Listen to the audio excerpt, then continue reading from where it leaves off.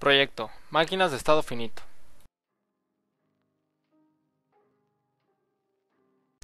Una máquina de estado finito es un modelo abstracto para la manipulación de símbolos. Nos permite saber si una cadena pertenece a un lenguaje o nos puede generar otro conjunto de símbolos como resultado.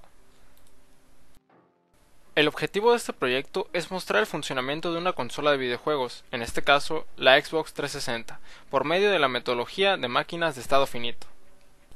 La justificación es conocer el funcionamiento de una consola de videojuegos para incrementar el rendimiento de la misma y el entretenimiento, ampliar su duración de vida neta, además de conocer que tu entretenimiento puede mejorar de contar con Internet. Ahora el diagrama de la máquina de estado finito. La máquina comienza en estado cero o standby. Si no enciende es porque no hay corriente o no está conectada. Al conectarse, entonces podrá encenderse y cargar el sistema operativo. Estando la máquina prendida y cargado el sistema operativo, se puede ver la interfaz del sistema, mostrando los diversos menús a los que podemos acceder. En este caso, manejaremos los más importantes para el sistema. El apartado de juegos comienza verificando si la máquina tiene un disco colocado. De no ser así, se procede a insertarlo. Entonces el juego comienza a cargar. Seguido de esto, se decide si jugar o no en línea. De ser así, se conecta a un servidor. En caso contrario, se jugará localmente. Es entonces cuando se decide si seguir jugando. En caso contrario, es cuando regresamos a la interfaz del sistema.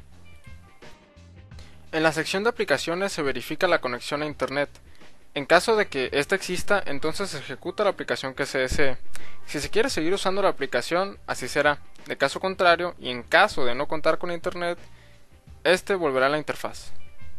En las configuraciones se plantea si se debe modificar la información del sistema, de ser así, generará configuraciones mientras esto se requiera. De dejar de requerirse o en caso de no necesitar dichos cambios, entonces volverá a la interfaz. La interfaz es donde visualizamos los menús y decidimos qué hacer en el sistema. De no necesitar nada, entonces se puede apagar la consola. Ahora el video explicativo. Ahora les mostraremos el funcionamiento del Xbox. Como pueden ver, lo encontramos en estado cero. Eh, procederemos a encenderlo. Como pueden ver, el Xbox no ha encendido. Puede ser por dos razones. Una, la principal, es que no esté conectado. Y la segunda es que no tengamos una corriente eléctrica. Ahora comenzaremos a encenderlo. Eh, el Xbox comienza a cargar eh, desde su sistema operativo, leyendo primero si se encuentra un disco duro eh, interno o extraíble. comenzará a cargar la interfaz. Una vez cargado la interfaz, nos proporcionará el menú de inicio, aplicaciones y configuraciones. Iniciaremos con la opción de jugar. Eh, tendremos que fijarnos primero si en nuestra bandeja contamos con un disco. Procederemos a abrirla. Como podemos ver, no contamos con un disco en este momento, por lo cual no podemos inicializar nuestro juego. Procederemos a insertar, insertar el disco. Se leerá el disco y nos dará la opción de comenzar a jugar.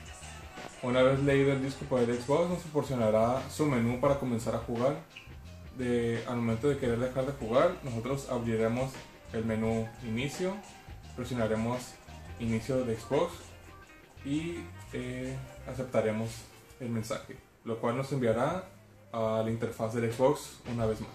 Ahora continuaremos con el menú de aplicaciones. Como podemos observar, tenemos varias aplicaciones que podemos eh, acceder a través de nuestro Xbox siempre y cuando contemos con internet en casa o wifi inicializaremos la aplicación de YouTube. Una vez inicializada la aplicación nos permite observar videos como en la página oficial de YouTube.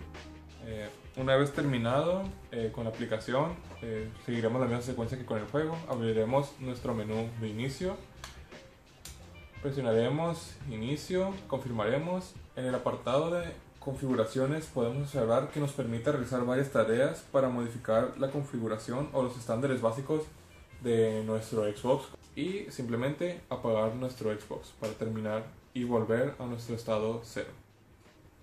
Una vez terminado de usar el Xbox, eh, presionaremos de nuevo el botón de apagado lo cual regresará a nuestro Xbox a su estado cero. Thank you.